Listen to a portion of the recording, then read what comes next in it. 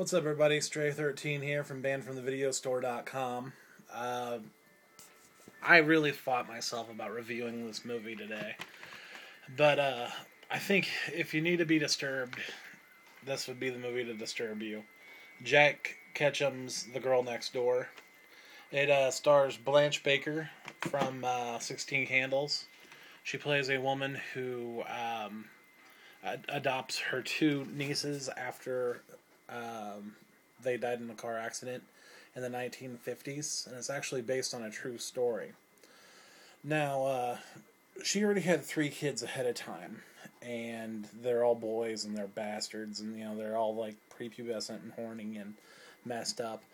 And now she and she adopts a you know, 14 and 15 year old girl who's just beautiful. I mean, just like not in a creepy way, just you know, pretty and soulful and intelligent, and her little sister who has braces on her legs from polio. And she kind of lets the kids do whatever, like her kids do whatever they want.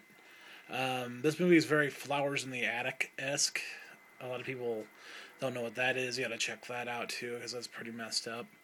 But uh, yeah, so it starts off like she just you know favors the boys, and the boys kind of like get their way around the girls.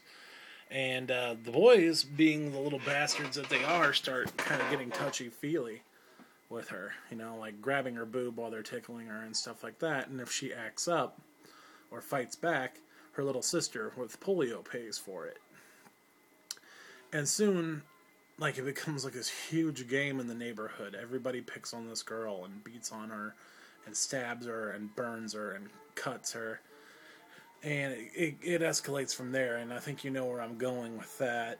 Um, I actually watched this movie, and I don't give a fuck what you think of me. I actually lost sleep of it, or uh, after it.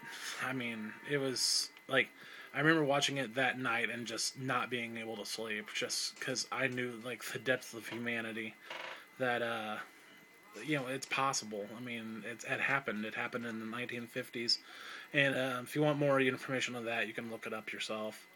Um, but uh, this movie just it, it just it spirals out of control because no one is taking this girl's side except for the boy next door who won't do anything. He won't go to his parents about it, you know, like or you know the neighborhood kids.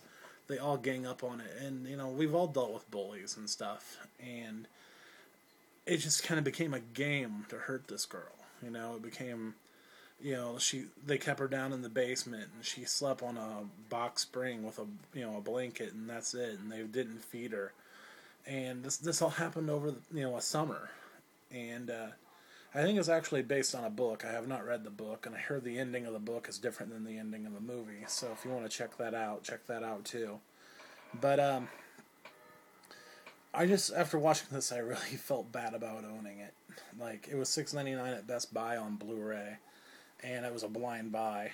So uh, I don't really regret buying it, but uh, and I don't really want to give this a rating of good or bad but if if you want to be disturbed, you know, rent it or watch it, buy it. You know, you can find it cheap. Um, that's it for you know that's it for this review. I'm done. I can't. I don't even want to talk about this movie anymore. This is Stray 13. You've been banned from the video store. Check out bannedfromthevideostore.com now out.